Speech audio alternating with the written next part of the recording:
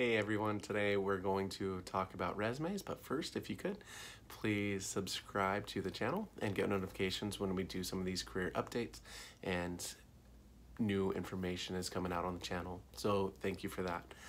The first thing that we're gonna do is talk about, like I said, that resume. There are a million ways that you can do a resume.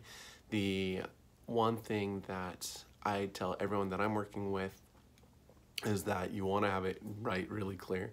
You don't want any confusion on your resume.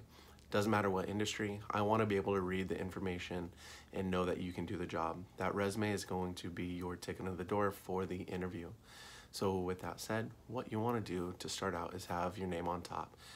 If you don't have your name on top, uh, it's not going to go very far. The other information that you want to put on top of that resume is your LinkedIn profile. You want to have your email phone number, and then if you're in the tech field, you want maybe I want to have your GitHub or something that's showing the different languages. Underneath that, you may put a job summary. If you do do a job summary, you want to have it less than three sentences, three sentences or less. You don't want to have a lot of information up there. If you don't want to do a uh, summary, you can also do a columned bullet point skills list and just put down any skills that you have up top something that you can put out and highlight right away so that they see that you have the skills that they're looking for and asking for. Um, with that, you want to be very uh, clear. You don't want to put down great communicator. You don't want to put down some of the really generic things that people put. They hope that you have those skills and they're going to see that in the interview. So you want to just put down skill sets that they're absolutely looking for and asking for. So the next thing that you want to do is put down your latest job and something that you just did most present. If you're still working, great. Put that down. Put down what your job title is. You want to put down the month and year. Don't try to just put the month. Always put down month and year and then what company you're looking for, what title you're looking for. So what do you put in underneath the skills section of that job? This is where a lot of people lose uh, steam with the hiring manager and the recruiters is you want to put down what the company that you're applying for is asking for.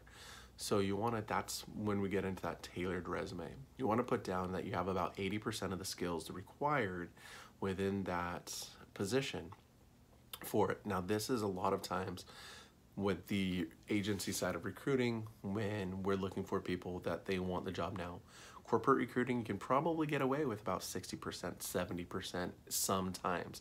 I always recommend that you want to put down at least 80% of the skill sets. So whatever they're asking for within that job description is what you want to put down within your resume. You want to make sure that they can see that you can do the job. Maybe if it's a corporate setting, which is different, it means you're not working with an agency recruiter, they may look at your resume and see that the body of work they want to bring you in and say, you know what, this person's going to be great and we want to uh, give them a chance and we're going to train them. In other situations, when you're working with an agency recruiter, they want you to be able to go in and pretty much do the job tomorrow. They don't have a big ramp up time. They don't want to train maybe a week just to get acclimated with the systems or the job that you're doing, but they don't want to spend six months training you because a lot of times six months is the contract, one year is the contract. They need you to come in and do the job. So you want to really take a look at that and understand where it is that you're applying and if you're doing it on your own or are you going through a recruiter. And the recruiter, if you have one, they will tell you what they want to see within that resume. So a few other things. You want to make sure that the jobs that you have done go up and lead into the job that you're applying for. If you're expecting going at a mid-level or senior level, if you're going at an entry level, junior level uh, within that role, then a lot of times the other things, just make sure that it's really clear. But if you're going in for a mid-level or senior level position or role, you want to make sure that the jobs go leading up to that prove that you are a or prove that you're a mid-level or senior level person. So really take a look at that. Make sure that the job titles and the things that you have done are leading up to it. Underneath the jobs, you want to really put down the education. With the education, you want to put down whether you had a uh, anything from associate's degree, bachelor's degree, put down the degree that you got and from the and the school that you got it from. You don't have to put the year, you don't have to put the date, you don't put have to put any things like that down. Uh, typically, uh, newer students will put that down. That is fine if you want to. I don't recommend putting the dates down. Just that you have the degree it usually is sufficient. Also, a lot of people decide that they want to put down their GPA. Uh, that's kind of tricky. You can put it down if it's above, say, 3.75. Anything other than that, eh, I wouldn't recommend it. Even putting in GPA isn't something that I would recommend highly. Now, if you were or part of a large uh, honor society and got honors for that, that might be something to better better put down than the actual GPA score itself.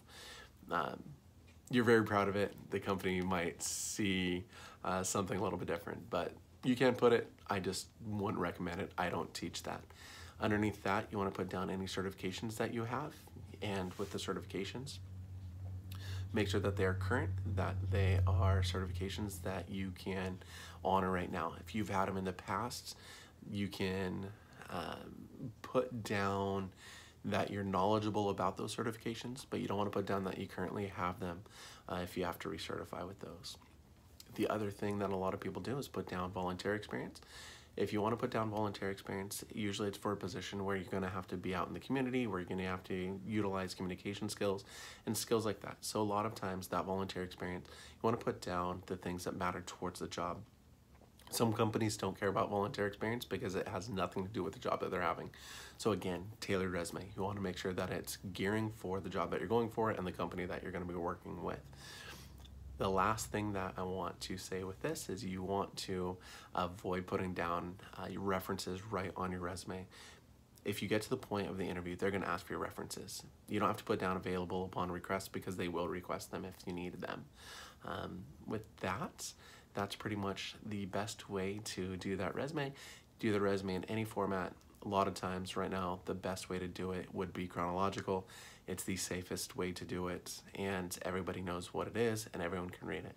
Uh, again, please subscribe to the channel and get notified with any of the new content that we're putting out. Thanks.